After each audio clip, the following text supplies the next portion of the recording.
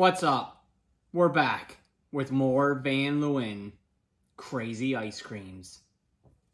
Kettle corn. I can deal with this one, I think. That pickle one tasted like pickle. I think kettle corn would be pretty decent. See, it's a sweet corn and butter ice cream with pieces of honeycomb for that subtly sweet yet salty taste that'll take you back to the big top. Let's do it up. Ooh, there's a lot going on in this one. I hate how you take these things off. It's a major fail.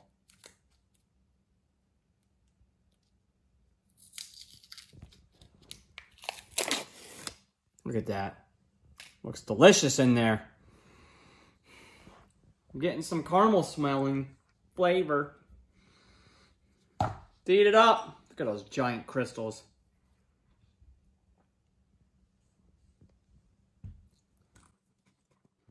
Mmm.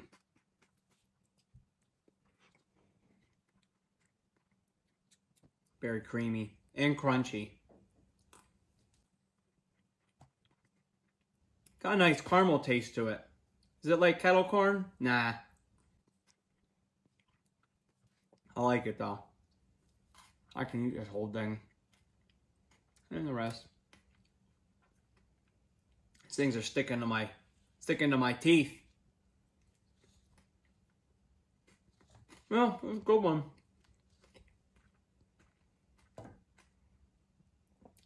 You never know about Van Leeuwen. Sometimes good, sometimes bad. Sometimes they make you want to throw up. Like that pizza one. It's disgusting. This one, pretty good. It's got a nice caramel caramel taste to it. And I like the crunchy pieces of honeycomb. They definitely add to it. Pretty good. I'd get this one again. 8 out of 10. Well, that's it for today. Come back again for another food review.